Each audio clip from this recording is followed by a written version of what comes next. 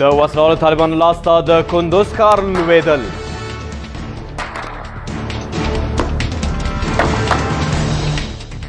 د پکتیکا په چاودنه کې د یوې کورنۍ د لسو غړو وژنه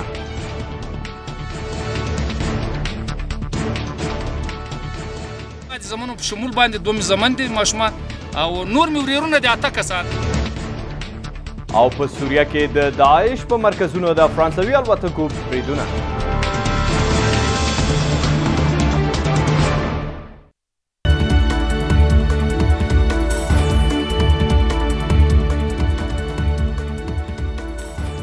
بسم الله الرحمن الرحیم ګران لیدونکو السلام علیکم او وخت مو په خیر نن دوشنبه ده د روان مریض کال د تلې شپږمه چې د 2015 میلادي کال د سپټمبر له اته ویشتمې نېټې سره سمون خوري د خبرونو تفصیل خبرونه د کندوز له سقوطه در پیلوو له کندوز څخه ترلاسه شوي رپورټونه وایي له سختو جګړو وروسته د دغه ولایت مرکز وسلهوالو طالبانو نیولی دی وسلهوالو طالبانو تېره شپه ناوخته په کندوز ښار کې له څو خواو تعرضي بریدونه پیل کړل چې له غرمې وروسته په دې وتوانېدل چې ښار ونیسي رپورټونه وایي امنیتي ځواکونه د کندوز ولایت د هوایي ډګر خواته تمبول شوي دي دا چې اوس وروستي جزئیات څه دي نور حال به له خبریال نصرت الله ابراهیمي سره چې له موږ سره به په لیکه کې اوسیږي وغواړو خو تر هغې مخکې چې چمتوالی نیول کیږي خبرونو ته دوام ورکو په داسې حال کې چې په کندوز ولایت کې تر دې مخکې دغه ویره نه و موجوده خو بیا هم کندوز سقوط کوي او تر هغې څو شیبې یواز د مخه امنیتي مسؤلین له رسنیو سره په اړیکه کې په دغه ولایت کې د امنیتي ځواکونو د ښه وضعیت او طالبانو لاسته د کندوز د نه لوېدو په اړه رپورټ ورکوي خو له هغې مازې څو شېبې وروسته ولیدل شو چې کندوز سقوط وکړ. څه لاملونه وو چې بالاخره کندوز سقوط کوي او په دې برخه کې د افغان امنیتي ځواکونو فعالیتونه ولې هغه ډول نه وو چې باید په دې برخه کې لازما نیول شوي وو وسله والو طالبانو چې دغه ولسوالۍ اوس بلکې دغه ولایت اوس تر کنټرول لاندې راغلی دی په څه ډول وتوانېدل چې په ناګهاني ډول به د څو ساعتونو په اوږدو کې مرکز ته سقوط ورکړي دا هغه پوښتنې دي چې تر اوسه هم پر ځای پاتې دي او دا چې په دې برخه کې ولې مخکې له مخکې آمادګۍ نه وي موجودې تر ټوله جدي مسئله او پوښتنه رامنځته کوي په عین حال کې دغه مسله په داسې حال کې رامنځته کیږي چې څه موده وړاندې په شمال کې د امنیتي وضعیت د ښه کېدو په اړه خوشبینۍ رامنځته شوې اوس به هم زموږ خبریال نصرت الله ابراهیمي ته ورشو چې همدا شیبه را سره د ټلیفون په لیکه کې دی او د کندوز د امنیتي وضعیت په اړه به له هغوی څخه نور هم وپوښتو ابراهیمي صاحب تاسو ته سلام او نیکې هیلې وړاندې کوم که مهرباني وکړئ چې د کندوز د امنیتي وضعیت په اړه وروستي جزئیات له ګران لیدونکو سره شریک کړئ سلام بر شما عباسین صاحب امروز حوالی ساعت چهار بجه بعد از مقاومت شدید نیروهای امنیتی که در ولایت کندوز داشتن سرانجام ساعت چهار و سی امروز ولایت کندوز به دست مخالفین دولت سقوط کرد که فعلا مناطق مرکزی ولایت کندوز به دست مخالفین دولت عملا است و همچنان مخالفین دولت چه برخی ساحا کی چوکی مرکزی کندوز تخریب کردند، تاسیسات قول اردو در ولایت کندوز به آتش کشیدند و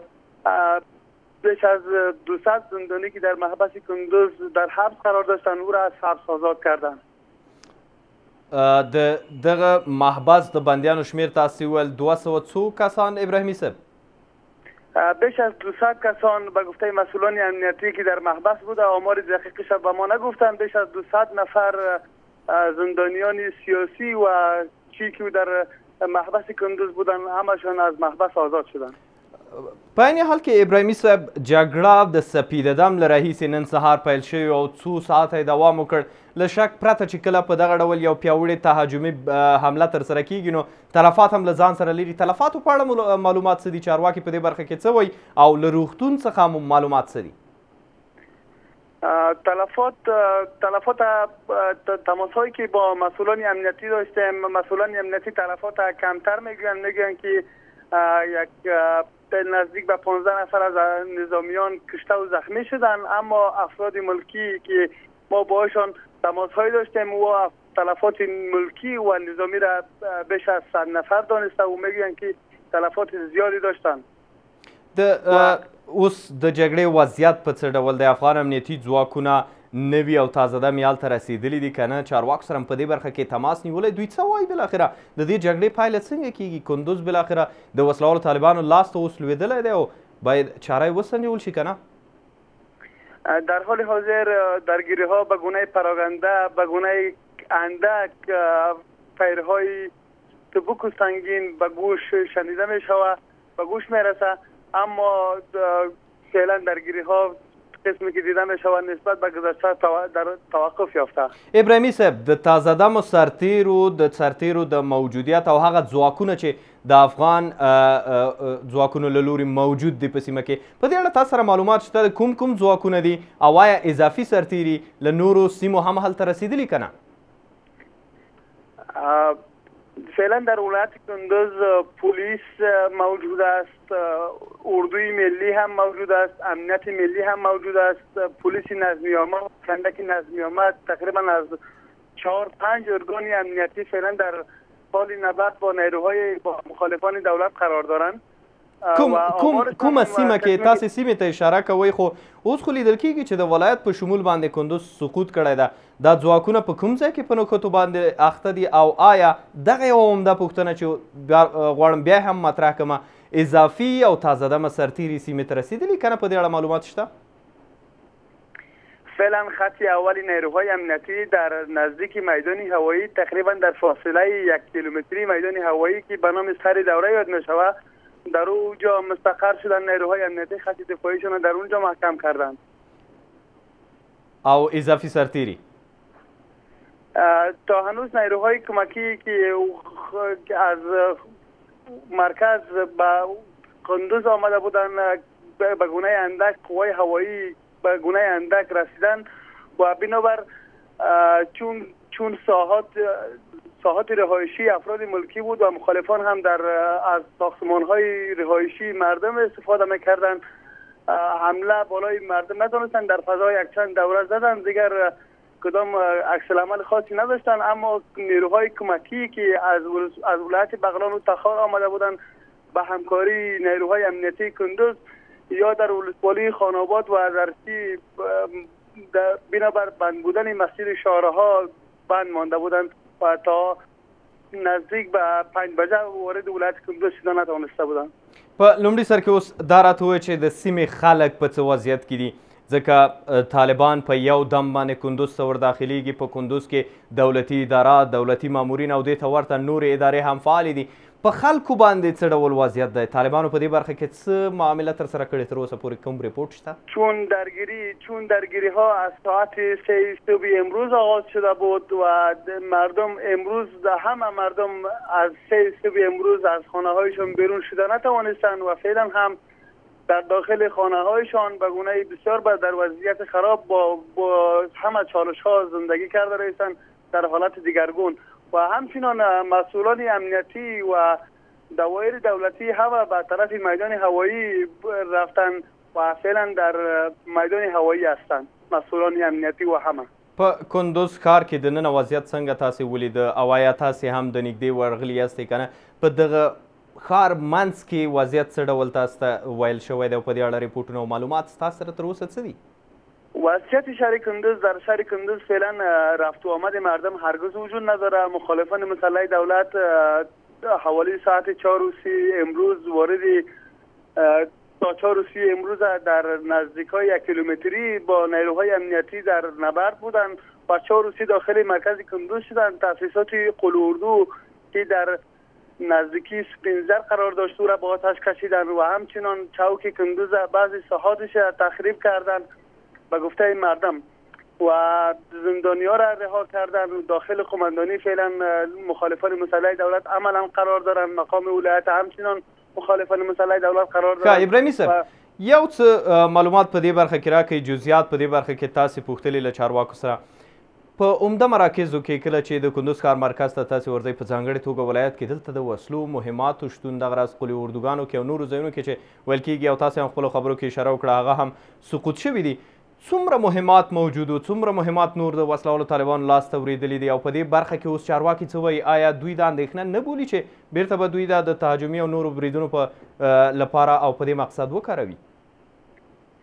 مسئولان امنیتی خو بعد از این که از ساعت پنج امروز تا حال مسئولان امنیتی هم تلفن هایشان خاموش است و ما تماس میگیریم به تماس های ما پاسخ نمیتن اما قرار معلوماتی که ما از شورای ولایتی فعالان مدنی و شهروندان و تماس هایی که با او داشتیم او وضعیت بسیار نگران کننده گفتن و گفتن که خیلی صلاح و مهمات به دست مخالفان دولت آمده فعلا و نیروهای امنیتی نتوانستند که نتوانستند که در مقابل مخالفان مسلح دولت مقابله بکنند و عقب نشینی کردند و در نتیجه چندین بار مسئولان امنیتی که ما با, با آنها تماسی داشتیم ما گفتند که ما خواهان کمک های جدی از مرکز شدیم اما بنابر عدم توجه حکومت مرکزی یا ناچار شدن که ولایت کندوز به مخالفان مسلح دولت واگذار بکنن وروسته پوښتنه سره مطرح کوم لند جواب راکړي اغلی خغلی ابراهیمی چې د دوشي په سیمه کې جګړه ډیره ګرمه بلل کېده او ابتدا ان هم همدغه ځای کې ډیر زیات ویل کېږي چې برید په شدت سره روانو د کابل څخه ورغلې لویه لاره په کوم ځای کې تړل شوې ده او په دې لاره کې وضعیت څنګه دی په دې اړه معلومات راکړئ بله مسیر شهرهای ولایت کندوز کابل امروز از صبح تا حال ولایت کندوز تخار بدخشان بر روی ترافیک مسدود بود و اما از ولسوالی الیاباد کندوز به او طرف مسیر شهرها بر روی ترافیک باز است دیر از یادتونه که ابراهیمی صاحب کور مادن زما همکار نصرت الله ابراهیمی و چې له کندوز ولایت څخه د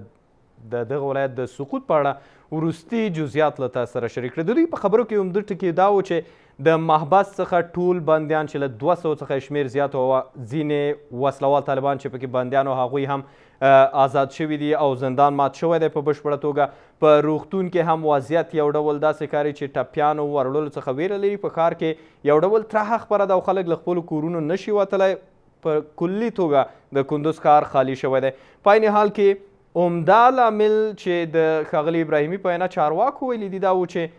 د مرکز څخه پاملرنه نه ده شوې او په دغه غفلت په پایله کې بالاخره اوس وسلوال طالبان په دې توانېدلي دي چې کندوز تر خپلې ولکې لاندې راولي خبرونو ته دا دوام ورکوو په داسې حال کې چې ولسي جرګه وایي وسلوالو طالبانو د یوې معاملې په لړ کې په کندوز ښار وسلوال برید کړی دی دوی د ملي یووالي حکومت رهبران او امنیتي بنسټونه د امنیت په ټینګولو کې ناکام بولي او د دوشنبې په ورځ یې د امنیتي ارګانونو د مسؤلینو د استیضاح لپاره لاسلیکونه راټولول پیل کړي دي. په دې اړه پام وکړئ د عبدالعزیز کریمي دغه رپورټ ته. د ناامنیو پراخېدل او په کندز ښار د وسله والو طالبانو برید ښايي د امنیتي بنسټونو مسؤلین د ولسي جرګې استیضاحیه غونډې ته بوځي. جرګې د امنیتي مسؤلینو د استیضاح لپاره د لاسلیکونو راټولول پیل کړی دی. متاسفم از رئیس صیب جمهور شروع تا آخرین قدم های مسئولین امنیتی در پیوند به امنیت افغانستان ناکام است بناا تصمیم بگیرین شما چیزی که ما می توانیم من حیث یک نهاد قانونمند جز استیضاح چی را می توانین بفرمایین فرم استیضاح را بگیرین مسئولین امنیتی را بخواهین در خانه ملت. د ولسي جرګې غړي وايي، که کندز سقوط وکړي، پاتې شمالي ولایتونه به په اسانۍ سره د وسلهوالو لاسته ولوېږي.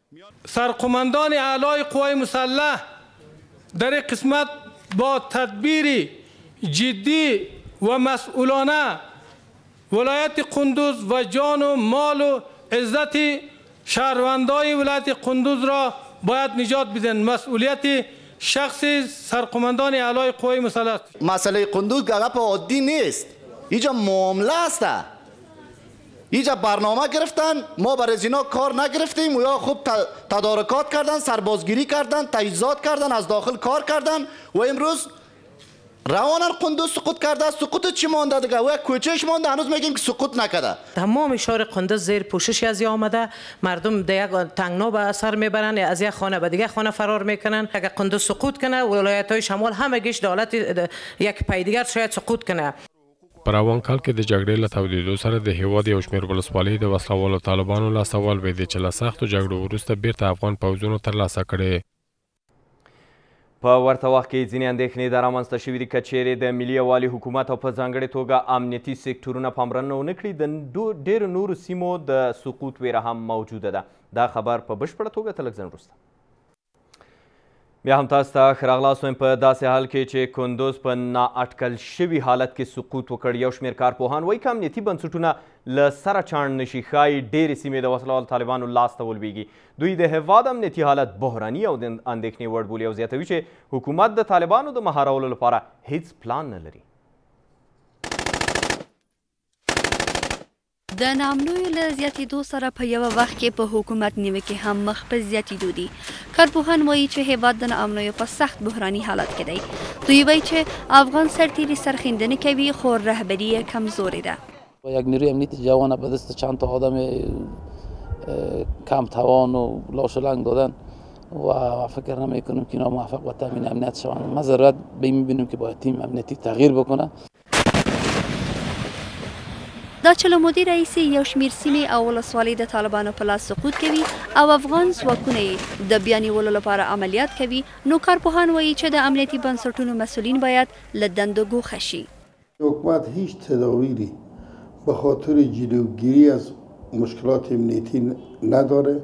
و حکومت در زدوبندهای درونی خود مشغوله کی را مقرر کنه کی را برطرف کنه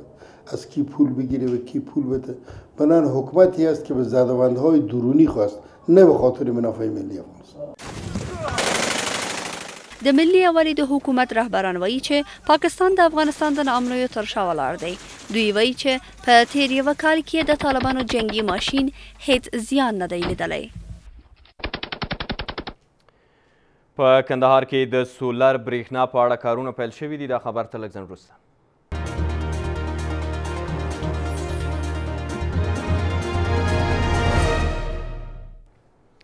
بیا هم تاسو ته ښه راغلاست وایم د کندهار د برېښنا شرکت وایي د سولر برېښنا پروژه د ځای د نشتوالي له امله ځنډېدلې ده د کندهار د برېښنا ریاست مرستیال وایي د دغې پروژې لپاره د ځمکې د نشتوالي ستونزه اوس هواره شوې او کار به ژر پیل شي په همدې وخت کې د کندهار اوسیدونکي له دولته غواړي چې د دوی برېښنايي ستونزه ژر ورحل کړي. نور حال یې د بریالي رحیمي په رپورټ کې. اټکل شوې وه چې په تېر کال کې د کندهار لپاره لس میګاواټه لمریزه برېښنا د شپږو میاشتو په موده کې د لس میلیون امریکایي ډالرو په ارزښت د امریکا د نړیوالې ادارې په مالي مرسته جوړه شي، خو د یوه کال په تېرېدو سره لا هم د دې برېښنا کار پر ځای پاتې دی. د دې ولایت د برېښنا شرکت تجارتي مرستیال وايي چې تېر کال یې د اراضیو ادارې ته وړاندیز کړی و چې د دې پروژې د عملي کولو لپاره ځمکه ورکړي، خو په هېواد کې د سیاسي کړکېچ له امله دغه پروژه وځنډېدله چې اوس یې کارونه بشپړ شوي او ډېر ژر به یې عملي کار پیل شي. ټول کارونه یې د قرارداد او مځکې و ټول بشپړ شوي دي چې په دې کې د افغانستان برېښنا شرکت هڅه کوي چې هرڅه ژر دغه پلانټ نصب کړل شي. هغه وايي، پر دې سربېره دوو نورو شرکتونو هم وړاندیز کړی چې په کندهار کې لمریزه برېښنا جوړه کړي چې وروسته به یې کارونه پیل شي. هغه د دې شرکتونو د وړاندیزونو په اړه جزیات ورنه کړل.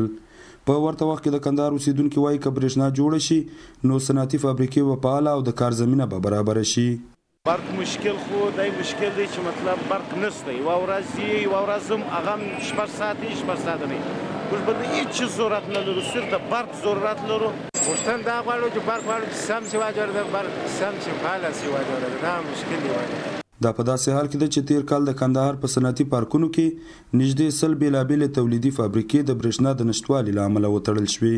او لا هم تړلي پاتې دي. اوس هم سپورټي خبرونه زما همکاره ګالیا رڼا نورستاني در وړاندې کوي چې همدا شېبه راسره په سټوډیو کې ده. رڼا جانې تاسو ته ډېر ښه راغلاست. سلام اباسین جان تاسو ته هم ستړي مه شئ. قدرمنو لیدونکو سپورټي خبرونه ګورو خو له دا مېز څخه وروسته.